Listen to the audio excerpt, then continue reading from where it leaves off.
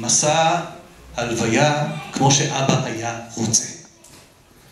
ושיזעמו ויתעצבנו ויעשו מה שהם רוצים. ואומר יוסף לאחים, אנחנו נעשה מסע שבו אני אביא את אבא אל מנוחתו האחרונה באותו מסלול שהוא בא ונכנס בו לארץ והיה רוצה להביא את אימא. ולכן אומר יוסף, אנחנו לא נגיע ישר לחברון, לקריית ארבע, למערת המכפלה, אנחנו נצא לחוץ לארץ ונעלה צפונה ונגיע לגורן האטד, ועכשיו פחות אכפת לי הגיאוגרפיה, יותר משמעותי לי המהות, גורן האטד וקבר רחל, פלוס מינוס יהיה אותו דבר. ונעמוד שם ונעשה את כל מה שעושים בהלוויה חוץ מפרט אחד, חוץ מהטמנת הנפטר. נעשה שם מספד, ונעשה שם אבל גדול, ונעשה שם שבעה. כלומר, גם ההספדים יהיו שם, וגם השבעה תהיה שם, ועד כדי כך גדול, שלכל עמי כנען שיושבים מעבר לגבול, יהיה ברור ששם יש אבל גדול למצרים. זה פרסום הניסה עצום, שכאן בעצם היה אבא רוצה להיקבר. אחרי שמסיימים את הסיפור הזה, ויעשו בניו לו כן כאשר ציוון, ויישאו אותו בניו ארצה כנען, ויקברו אותו במערת המכפלה וכולי וכולי. הציווי השני, הציווי של אבי האומה לכל השבטים. הציווי של אבי האומה לכל השבטים הוא, קברו אותי במערת המכפלה. אומר יוסף, בסדר, אני גם חלק מהשבטים, אני מודע לציווי הזה, הציווי הזה זה מה שיקרה במציאות, אבל אתם תעשו איתי את המסלול שאבא היה רוצה. ולכן בתחילת הדרך, הם הולכים בסוף, בסוף השיירה, כן? הייתי אומר כמעט נגררים בעל כורחם, הם לא רוצים את המסלול הזה. המסלול הזה, תחשבו על האחים, מעורר את כל החששות הרדומים. אולי יוסף עכשיו יתחשבן איתנו, הנה הוא שומר על המעמד של אימא שלו, למרות כל המאבקים וכל מה שקרה, וכל מה שקרה בינינו, אולי עכשיו אחרי שיעקב הולך לעולמו, מי יודע לאן זה ילך. איך זה מסתיים אחרי שהם קוברים אותו במערת המכפלה? כן, מופיעים עוד שני פסוקים. וישוב יוסף מצרימה, הוא ואחיו וכל העולים איתו לקבור אביו אחרי קוברו את אביו. אז מי קבר את אביו? הוא קבר את אביו, הם קברו את אביו, הם קברו ביחד. כביכול התורה אומרת שיעקב נקבר פעמיים. פעם אחת יוסף קבר אותו, וזה אולי שם ליד אימא שלו, ופעם אחת הם קברו, והם עולים בשתי קבוצות.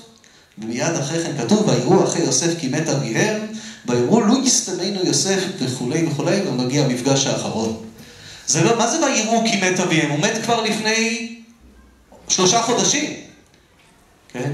אבל הם ראו איך קברו אותו, הם ראו את כל הטקס, הם ראו את כל העניין הזה, זה מסביר גם את האנומליה במסלול, זה מסביר גם אה, את הסדר של ההולכים, זה מסביר את בעלי במועי מפדן, זה מסדר יפה את כל העניין, וזה אומר שיעקב התחבט בין שני מישורים.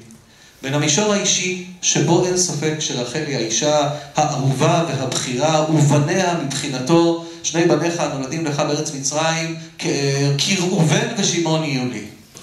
ובין המחויבות הלאומית שלו, בסופו של דבר הוא אבי האומה הישראלית, באומה הישראלית ללאה יש שישה שבטים, מתוכם שבט יהודה, שהוא השבט שהוא זה שייקח את ההובלה, ולא יוסף, ויעקב מודע לזה.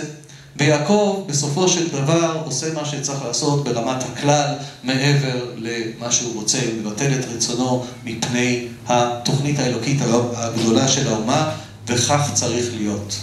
אבל זה לא אומר שזה לא קיים, וזה לא אומר שלא צריך לומר את זה, ואולי ליוסף הכי חשוב לומר את זה, כי יוסף אולי זה שסך הכל כשקברו את רחל, בנימין עוד לא הייתה לו מילה, כן, אבל אה, לא יודע, אפילו אולי, אולי אפילו בפשט, או אפילו עוד לא עבר ברית מילה, כן, זה היה ממש קרוב. אה, אבל יוסף היה שם, ויוסף ראה, וצריך לסדר את הדברים הללו עם יוסף. וכך פחות או יותר כל ה... אה, כל הקושיות האלה מסתדרות, אפשר עוד להעריך ולהוכיח דברים שאמרתי פה גם בתוך הפסוקים ולהראות שהם שם, אבל לענייננו נסתפק בזה. כפי שאמרתי, שושנה זיכרונה, לברכה היה לה חיוך גדול בסוף השיעור הזה, והיא אמרה שזה באמת, שהפריע לה באמת המסע הגיאוגרפי הזה, והיא כמובן הכירה את כל המחקרים האפשריים על איפה בדיוק נמצא קבר רחל, כן, קובור אל יהוד או לא קובור אל יהוד, כן ואדי קלט או נחל פרת עליון או לא, כל הדברים האלה לא היה לי מה לחדש לה בהם. והיא... השיעור הזה מצא חן בעיניה וחשבתי שהוא גם מבחינת העיתוי בשנה וגם באמת לזכרה אולי ראוי להעלותו גם כאן. אבל כשחשבתי על זה, אז מעבר לזה שהייתי מרוצה שמצאתי משהו שאני חושב שמתאים, אני חושב שיש בו עוד משהו. היה בה רצון אינסופי ללמוד, והיה לה מה להגיד על כל נושא, בוודאי במישורים הלאומיים, ותמיד היה זיק בעיניים, כן? היה באמת חדווה וחיות של, של דעת ושל הבנה ושל הפנמה. אבל הזיק הכי גדול בעיניים שאני זוכר אצלה, היה כשהיא דיברה למשפחה. ולא משנה אם זו המשפחה הקרובה, או משפחה באוסטרליה, או מתי ניסה, או איך ניסה, או מה קורה, או אם מלמדים אה, בסקייפ כל מיני דברים שקורים, המשפחה בסופו של דבר, השבט הפרטי שלה, זה היה הדבר שהיא הייתה הכי גאה בו, והכי שמחה בו, ואני חושב שבסופו של דבר נתן לה אה, הכי הרבה. והנושא הזה שלמדנו היום, הנושא של העימות אולי, או לפעמים ההתנגשויות בין האני הפרטי, האדם הפרטי, שבו יעקב הוא אדם ככל אדם, ובין האלמנט הלאומי, מלמד אולי שלא צריך לוותר, שאפשר לעשות את שני הדברים ביחד, כן? גם אם פירושו של דבר כביכול לקבור את יעקב פעמיים, לא נורא, אז מרוויחים את שני העולמות. אני חושב שרעיון כזה גם קשור למה שהרגע אמרתי, לאופי המיוחד של שושנה ול... ל... לא יודע אם זו היררכיה או סדרי עדיפויות, או באמת הדברים שקרובים וחשובים לליבה. אמר הרב הלוי שהיא אדם מאוד מיוחד ומאוד גדול והיא חסרה בוודאי ובוודאי לכל מי שהכיר אותה. אני לא רוצה לחשוב על עוצמת החלל ש... שיש בביתה פנימה, כמה למשפחה היא חסרה, כמה...